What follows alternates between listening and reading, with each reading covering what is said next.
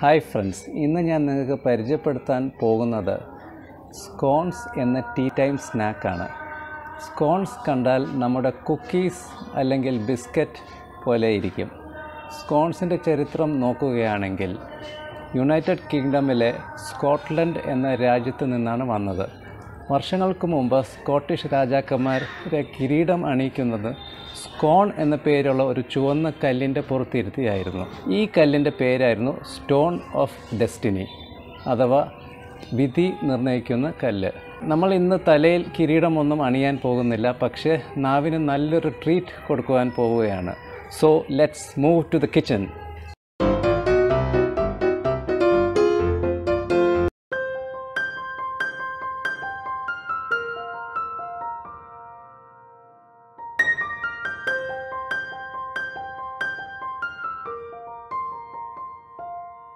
scones ഉണ്ടാക്കുവാൻ വേണ്ടിയുള്ള ingredients. മൈദ ഒരു കപ്പ്. ബട്ടർ നൂറ് ഗ്രാം. പാൽ കാൽ കപ്പ്. പഞ്ചസാര രണ്ട് ടേബിൾ സ്പൂൺ. ബേക്കിംഗ് പൗഡർ ഒരു ടീസ്പൂൺ. ആറോറൂട്ട് പൗഡർ ഒരു ടീസ്പൂൺ. സ്കോൺസ് പ്രിപ്പയർ ചെയ്യാൻ വേണ്ടി നമ്മൾ ആദ്യം ഒരു ബോൾ എടുക്കുക. അതിലോട്ട് നമ്മുടെ ഇൻഗ്രീഡിയൻസ് ഒന്നൊന്നായി ചേർക്കുക എന്നുള്ളതാണ്. മൈദ ഒരു കപ്പ് ചേർക്കുക. ബട്ടർ നൂറ് ഗ്രാം ചേർക്കുക. കാൽ കപ്പ് പാൽ. പഞ്ചസാര രണ്ട് ടേബിൾ സ്പൂൺ. ബേക്കിംഗ് പൗഡർ ഒരു ടീസ്പൂൺ. ആറോറൂട്ട് പൗഡർ ഒരു ടീസ്പൂൺ. ഇതെല്ലാം നന്നായിട്ടൊന്ന് മിക്സ് ചെയ്തെടുക്കുക.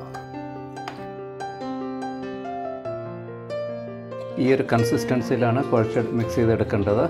ഇത് നമ്മളൊരു റൗണ്ടായിട്ടൊന്ന് ഷേപ്പാക്കി എടുക്കുക.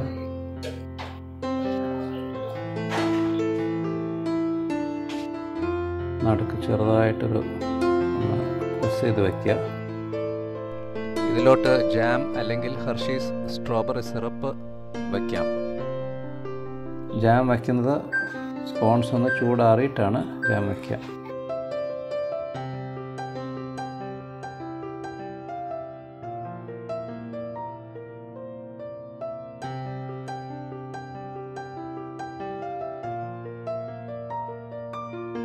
ഞാൻ പതിനൊന്ന് സ്കോൺസാണ് ഷേപ്പാക്കി വച്ചിട്ടുള്ളത്. ഇനി നമുക്കത് ബേക്ക് ചെയ്യാനായിട്ട് പോകാം. മൈക്രോവേവ് ഓൺ ചെയ്യുക കൺവെക്ഷൻ മോഡ് സെലക്ട് ചെയ്യണം. വൺ എയ്റ്റി ഡിഗ്രീസ് എടുക്കുക ടെൻ മിനിറ്റ്സ് പ്രീഹീറ്റ് ചെയ്യണം.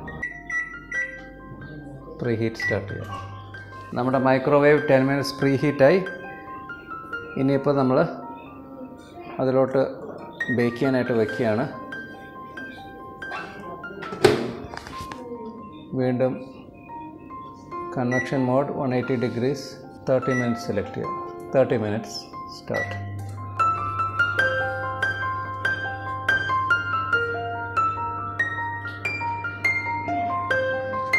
നമ്മുടെ സ്കോൺസ് റെഡി ആയിട്ടുണ്ട്.